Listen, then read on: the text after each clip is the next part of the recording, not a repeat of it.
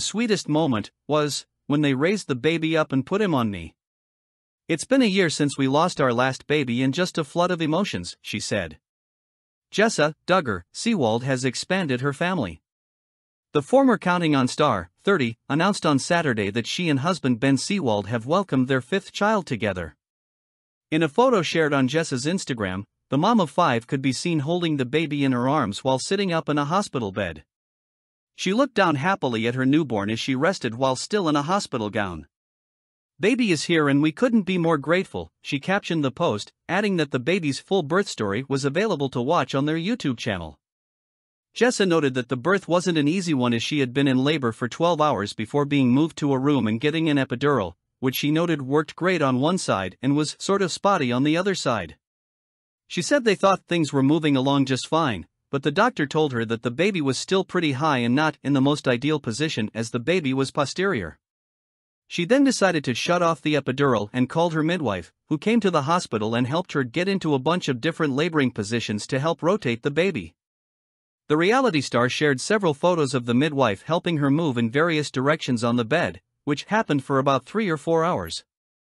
And when I got to the point where I could tell the baby was descending, the contractions felt more intense, I was like, I need the epidural turned back on, please, she said in the video. We turned the epidural back on, and one leg was working great, while the other side, just, I could feel everything. She said the doctors had to re-administer the epidural, and at around 3 a.m., after 21 hours in labor, she finally gave birth to her child. The emotional moment was captured on video as Jessa broke down as the baby was placed into her arms. Her husband could be seen wiping away some of her tears before placing a kiss on her forehead. The couple's friends and family in the delivery room asked whether it was a boy or girl, and it was confirmed to be a boy. The sweetest moment was when they raised the baby up and put him on me, Jessa gushed in the video. Just holding him there, I think there were just so many emotions in that moment, and so many things that you're processing. It's been a year since we lost our last baby and just a flood of emotions. The couple announced in September that they were expecting their fifth child on social media after Jessa tragically suffered a miscarriage in 2022.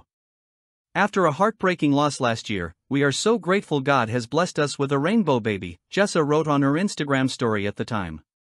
An accompanying video showed a positive pregnancy test sitting on a bathroom counter. Just this past week, we found out some wonderful news that our rainbow baby is on the way, and we could not be more excited, the reality star said at the time. Jessa and Ben are also parents to daughters Ivy, 4, and Fern, 2, and sons Henry, 6, and Spurgeon, 9.